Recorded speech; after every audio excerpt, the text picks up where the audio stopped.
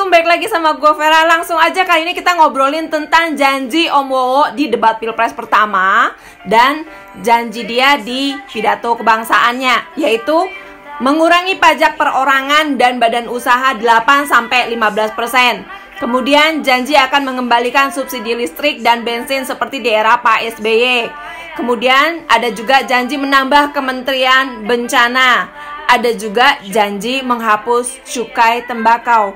Mungkin nggak ya? Kita lihat aja langsung kenyataannya. Let's kita cek kenyataannya. Lihat data di Kementerian Keuangan Republik Indonesia.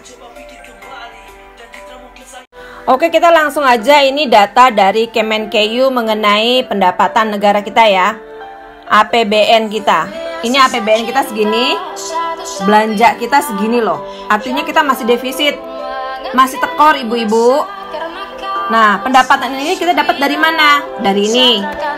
Penerimaan perpajakan aja kita dapat segini. Ini pajak dari mana aja? Ada pajak kendaraan bermotor, pajak bangunan, pajak pendapatan perorangan, dan lain-lain. Nah, sekarang kalau sesuai dengan janji PKS, pajak bermotor akan dihapus. Piye? Lah nanti ruginya banyak banget loh. Ini kurangnya banyak banget. Bayangin ada berapa ribu motor ada berapa ribu berapa juta motor berapa juta mobil yang ada di Indonesia pajaknya akan dihapus seumur hidup. Ini berkurangnya banyak banget.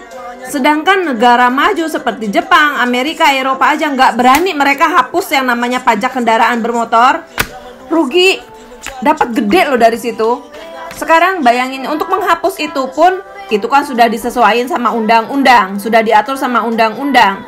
Nggak bisa PKS cuma ngusulin, eh mau dihapus, udah kehapus gitu, nggak bisa. Itu semuanya harus dapat persetujuan dari DPR.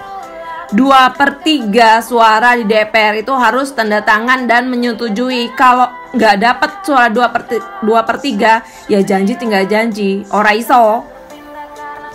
Nah, begitu juga ini PNBP. PNBP ini kayak pendapatan dari uh, denda siapa yang bayar pajaknya telat apa segala macam denda-denda. Ini masuknya ke PNBP ya kita bisa lihat ya. Nih contohnya kayak gini aja. Ini pajak yang kita dapetin 2014 terus nanjak sampai ke sini. Masih inget sama yang namanya amnesti pajak? Banyak pengusaha-pengusaha nakal Indonesia yang nggak bayar pajak. Ya itu dulu sebelum mereka bayar pajak kayak gini nih pendapatan pajak kita. Tapi begitu mereka ada amnesti pajak, banyak loh nama-nama besar yang kalian tahu banget. Pengusaha-pengusaha itu mereka nggak bayar pajak total. Nah sekarang udah dapatnya kayak begini. Kalau itu mau dihap, dikurangi 8 sampai 15 persen, artinya Omowo keberpihakan kepada mereka pengusaha-pengusaha nakal di Indonesia. Begitu juga nah hibah. Hibah ini bantuan hadiah dari luar negeri, bukan pinjaman, tapi hadiah. Nah, kalau pendapatan kita segini, belanja kita segini, terus yang namanya cukai tembakau juga mau dihapus. Cukai tembakau ini dihapus ini yang paling ngeri. Maksudnya maunya gimana gitu loh kalau dihapus ini? Gimana dengan tadi jan, uh, data yang sudah aku dapatkan dari Kementerian Keuangan? Kita udah bisa lihat APBN kita berapa, belanja kita berapa, pendapatan besar negara kita dari pajak. Kalau uh, pajak dihapus 8 sampai 15% udah hal yang nggak mungkin banget. Begitu juga janji untuk menambah Kementerian Bencana. Artinya kita butuh gedung triliunan, butuh menteri. Dari gedung bukan gedungnya aja, ada karpet, hordeng, meja kerja, AC, laptop, komputer, telepon, dan lain-lain. Itu semuanya duit. Menteri, gaji untuk menteri, fasilitas rumah dinas, mobil, protokol. Belum lagi deputi-deputinya, begitu juga pekerja-pekerjanya yang di bawahnya sekitar ratusan orang. Itu semuanya duit. Begitu juga dengan janji akan mengembalikan subsidi listrik dan bensin seperti di era Pak SBY. Sekarang ini Kalimantan, pelosok Kalimantan dan Papua sudah mendapatkan harga bensin yang sama dengan di Jakarta.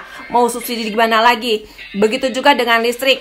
Pak Jokowi sudah memberikan listrik ke rumah-rumah mereka yang benar-benar tidak mampu, bukan ke rumah orang-orang yang mampu. Begitu juga mengenai janji Om Wowo akan menghapus cukai tembakau. Ini yang paling ngeri. Kenapa gue bilang ngeri? Mau dikembalikan ke era Orba. Di saat tembakau dan cengkeh semuanya dipegang sama anaknya Cendana. Petani cengkeh dan petani tembakau banyak banget yang ambruk habis-habisan di era itu. Mau dikembalikan ke era situ, kemudian pajak kita berkurang, bisa-bisa per tahun kita defisit 1000 triliun. Per tahun kalau kita tekor 1000 triliun berarti benar apa kata Om Wowo? Negara kita bisa bubar. Uang pajak itu untuk apa? Uang pajak itu kan besar banget tuh dapatnya pendapatan besar negara kita. Ini yang kayak begini-gini dapatnya dari uang pajak.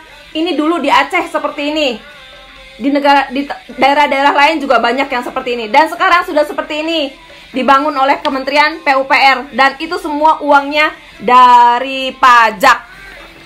Begitu juga ini rumah untuk nelayan dan jembatan-jembatan lain di daerah Jawa Barat, Padang, Aceh dan lain-lain semuanya itu dari uang pajak.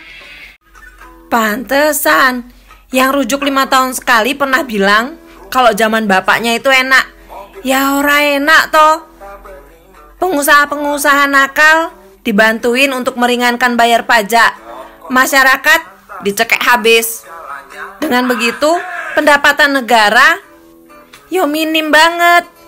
Akhirnya negara defisit terus, ngutang terus. Jangan lupa, zamannya bapaknya sampean dapat gelar pemimpin negara dengan hutang terbesar di dunia. Terkorup di dunia dan itu tercatat loh. Jadi gak usah keberpihakan kepada pengusaha-pengusaha nakal di Indonesia. Pajak adalah pendapatan besar negara. Kalau mau ngikutin janji sesuai janji bojomu, ujung-ujungannya ya sesuai kata bojomu, Indonesia bisa bubar, punah, bocor.